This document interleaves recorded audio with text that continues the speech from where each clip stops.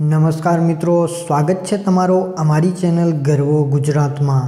આજના આ વિડીયોમાં પણ અમે તમને એક ચમત્કારિક શિવલિંગ વિશેની વાત કરશું, જે શિવલિંગ દિવસમાં ત્રણ વાર પોતાનું રંગ બદલે છે અને ઘણીવાર ખોદવા છતાં પણ તેનો છેડો ક્યાંય જ નથી મળ્યો. અને આ રહસ્યમય શિવલિંગ વિશે આજના આ વિડીયોમાં તમને જણાવશું. મિત્રો, કહેવાય છે કે આ શિવલિંગ દિવસમાં ત્રણ વાર પોતાનું રંગ બદલે છે. સવારે લાલ કલરનું હોય છે, બપોરે કેસરી બની જાય છે અને સાંજે કાળું. તો મિત્રો આ ચમત્કારિક શિવલિંગ પાછળ શું કારણ છુપાયેલો છે, એના વિશે આજના આ વિડીયોમાં તમને જણાવશું. તો હજી સુધી તમે અમારી આ ચેનલને સબસ્ક્રાઇબ નથી કરી, તો જલ્દીથી સબસ્ક્રાઇબ કરો અને બાજુમાં આવેલો જે બેલ છે એને પણ ઓન કરી નાખો. જેથી કરી અમે કોઈ પણ રસપ્રદ અને નોલેજેબલ વીડિયો અપલોડ કરીએ, તો તેની માહિતી સૌથી પહેલાં તમને મળી જાય. આમ તો તમે ભારતમાં જુઓ તો તમને ઘણી બધી ચમત્કારી જગ્યાઓ મળી જશે. ખાસ કરીને વાત કરીએ તો ભગવાન મહાદેવની. તેમનો ચમત્કાર અને ઇતિહાસ જ અલગ છે. ભક્તો પર ખૂબ જ મહેરબાન એવા ભગવાન ભોળાનાથ. મિત્રો, ભગવાન શિવજીના અમુક ચમત્કારો તો એવા છે કે તેને જોઈને આપણને પણ એવું લાગે કે ખરેખર મહાદેવ પોતાના હોવાનું અસ્તિત્વ વિશ્વભરમાં છોડતા ગયા છે. આમ તો આપણે કોઈ ભગવાનને આ યુગમાં મળીએ, તેના સાક્ષાત દર્શન કરીએ એવું તો શક્ય નથી. પરંતુ આપણને ભગવાનના આવા ચમત્કાર જોઈને અહેસાસ થાય છે કે ભગવાન ખરેખર અસ્તિત્વ ધરાવે છે.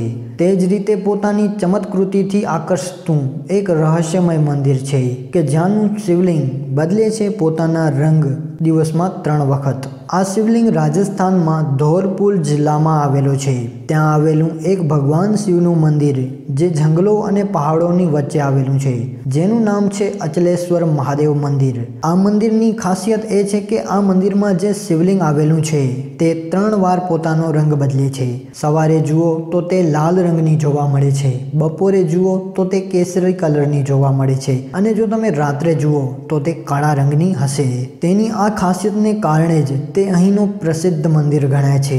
હવે સવાલ એ થાય છે કે આવું કોઈ શક્ય બની શકે કે કોઈ શિવલિંગ દિવસમાં ત્રણ વાર રંગ બદલે? સવારે અલગ, બપોરે અલગ અને સાંજે પણ અલગ? તો મિત્રો તમને જણાવીએ, આ વિશે ત્યાંના સ્થાનિક લોકોનું શું કહેવું છે? ત્યાંના સ્થાનિક લોકો કહે છે કે આ મંદિર હજારો વર્ષ જૂનું છે અને તે આ પહાડના પથ્થરોમાંથી જ બનાવેલું છે. પરંતુ તેની શોધખોળ કરવામાં આવી તો તેના કલર બદલવાનું રહસ્ય રહસ્ય જ રહી ગયું. તેનો કોઈ ઉકેલ હજુ સુધી નથી આવ્યો. આ શિવલિંગની હજુ એક ખાસિયત એ છે કે શિવલિંગનો છેડો ક્યાંય પણ નથી મળતો, કારણ કે ત્યાંની ટીમે એકવાર ખોદકામ ચાલુ કર્યું હતું. ત્યારે ઘણે ઊંડે સુધી ખોદતા તેમને કોઈ છેડો મળ્યો નહીં. અંતે તેઓએ ભગવાન શિવજીનો ચમત્કાર સમજીને ખોદકામ છોડી દીધું.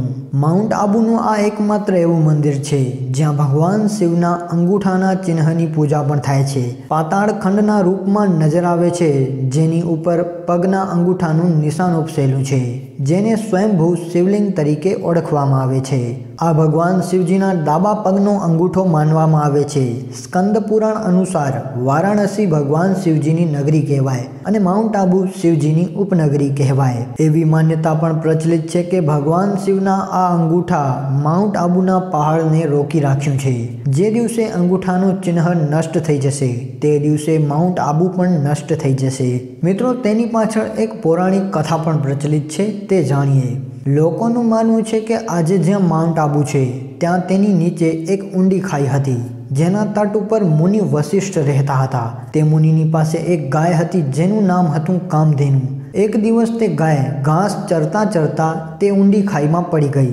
તેને બચાવવા માટે મુનિએ ગંગા અને સરસ્વતી પાસે મદદ માંગી. તેમની મદદથી ઊંડી ખાઈ પાણીથી ભરાઈ ગઈ અને તે પાણી જમીન સુધી પહોંચી ગયું અને કામધેનુ ગાય તરીને પાછી આવી ગઈ.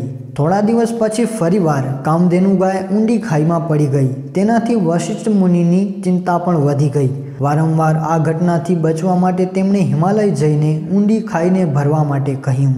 હિમાલયે આ વાતને સ્વીકારી અને પોતાના પુત્ર નંદીવર્ધનને જવાનો આદેશ આપ્યો. નંદીવર્ધનને આદેશ સ્વીકાર કર્યો અને એક અદ્ભુત નાગને ઉડાડીને ત્યાં ખાઈ પાસે પહોંચ્યા. ખાઈ પાસે પહોંચીને તેણે મુનિ પાસે વરદાન માંગ્યું કે અદ્ભુત નાગ પર સાત મુનિઓનો આશીર્વાદ બન્યો રહે.